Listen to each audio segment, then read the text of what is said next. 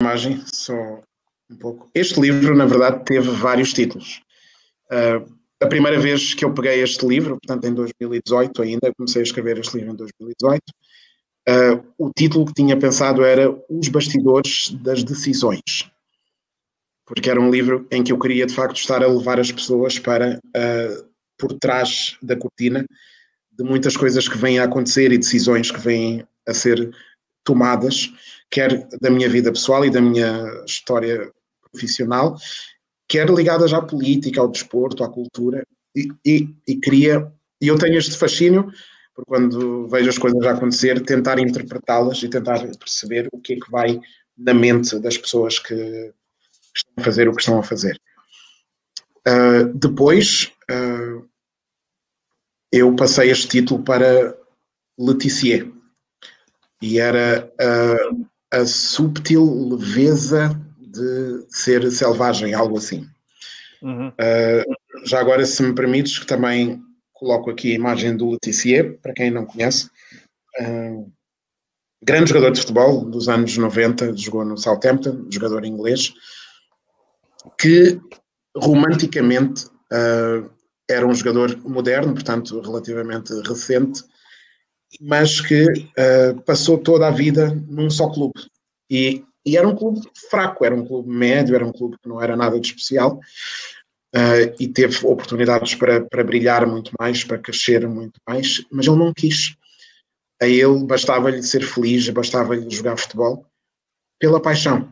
Ele não jogava futebol para ser o melhor, apesar de, de ter toda, toda a capacidade técnica para ser um, um dos melhores do mundo, ele nunca quis fazer do, do futebol a sua profissão.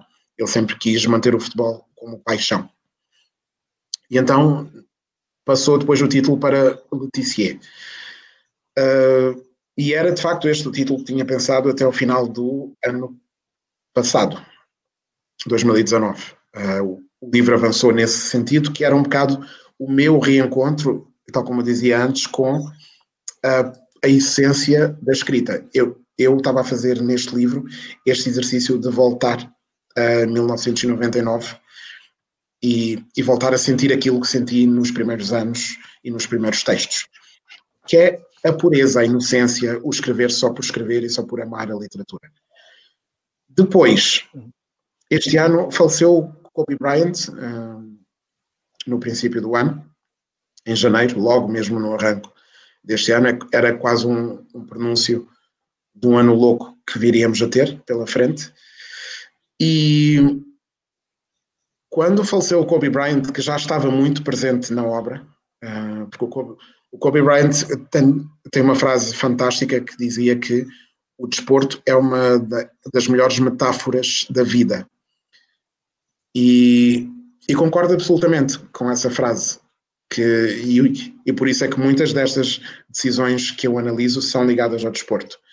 Porque no desporto vês pessoas a, a tomar, a fazer escolhas e decisões em momentos, em real time, em tempo real, e sob pressão. E então é, é um dos melhores uh, ecossistemas para perceberes a mente das pessoas. E quando uh, isto acontece, eu automaticamente senti que o Kobe Bryant uh, passaria a ter um, um, destaque maior na obra, porque tem um destaque muito grande na minha vida e na minha forma de ser, principalmente hoje. E o Kobe Bryant teve uma carreira de 20 anos, eu estou a celebrar 20 anos de escrita. Então temos aqui o primeiro código que casa o 2020. Uh, ah, e o Kobe Bryant teve a carreira dividida por dois números. Ele usou na primeira metade, quando entrou na NBA, o número 8, ele entrou na liga com 17 anos e era um fenómeno físico, era um prodígio físico, era um jogador atlético, saltava muito, corria muito uh, e era muito força, energia, saltos, elevação, graciosidade.